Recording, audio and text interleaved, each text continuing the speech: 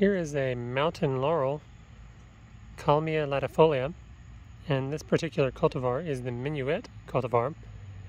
I purchased this at Home Depot earlier in the spring, and it's been growing here all summer, but recently it's had a lot of browning on the leaves, last year's foliage in particular, although this year's foliage is mostly green.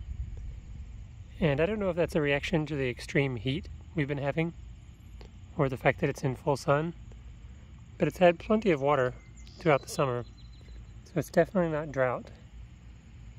So I don't know if this is some sort of problem with the leaves, like a fungus, or who knows what. Maybe just the location. It is a partly sunny location, probably mostly sunny.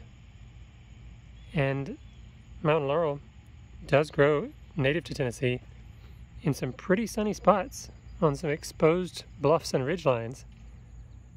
Although sometimes it also grows in the understory, so I'm not sure. I'm going to leave this one here for now and see what it does next year.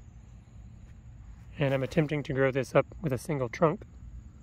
So I trimmed away a lot of the alternate branches down low and eventually I'll probably try to make this be the main trunk as it moves upward.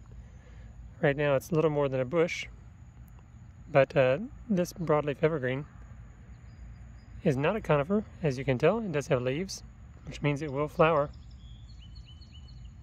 And it's just part of my effort to continue to diversify my evergreen plants in my collection. Although maybe it didn't work this time. We'll see.